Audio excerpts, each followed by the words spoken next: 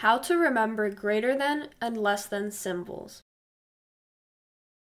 6 is greater than 2. 5 is less than 7. How do we remember which direction to turn the sign? There are three methods to remember the greater than sign and the less than sign. The first method is the alligator method.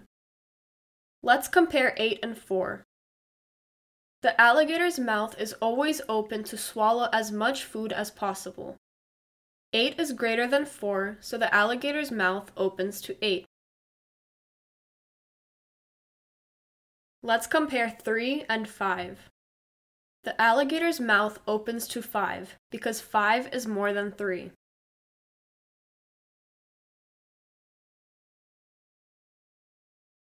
Compare 9 and 6. 9 is greater than 6, so the alligator's mouth opens to 9.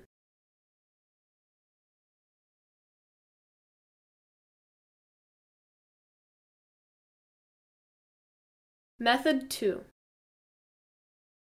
Another way to recall the greater than and less than signs is to remember that the open end always faces the bigger number, and the arrow points to the smaller number. 6 is larger than 3, so the open ends of the sign face 6. Four is less than 9, so the arrow points to 4 and the open ends face 9. Method 3. Less than starts with the letter L, which reminds us of the less than symbol. 3 is less than 5. If you thought this video was helpful, please leave a like. For more videos like this, please subscribe.